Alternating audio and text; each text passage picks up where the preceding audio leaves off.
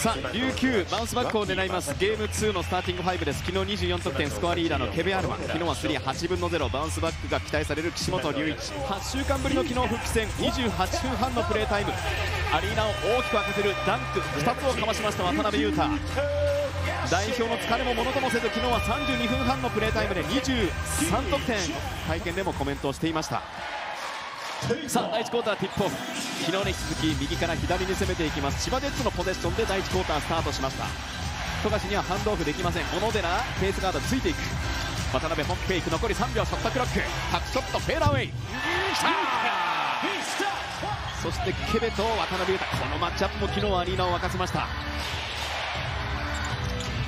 ケベ？そして小野寺慎重にバンクショット。昨日は3アシスト松脇です。スリーが来た。ロングスリー。さあ！富樫と言われる富樫選手のところから攻めていく。ビンゴを狙う姿勢が昨日とは段違いの琉球です。原修太からホグ。マイケル・オーのスクリーン。ホグのスリー。うん来た。NBA クラスのマッチアップ。リバウンド。ホグ。富樫走る。富樫走る。渡辺裕太が来たホグ残す。渡辺。ポゼッション継続琉球千葉がポゼッションを続けながら。高橋のロングスリー。きた一昨シーズンの DPOY 最優秀守備プレーヤーの原修太。岸本！ついに来た！ついに来ました！リバウンドは渡辺裕太。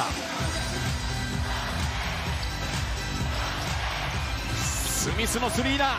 来た田代が使いました。ホグホグ。ホグのダンク！高い。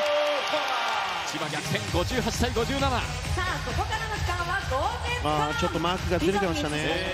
ケベアルマさらにトーチに火がついています。高橋が行く。高橋のスリー。やり返す！富樫に上松富樫無理無理エンドラン。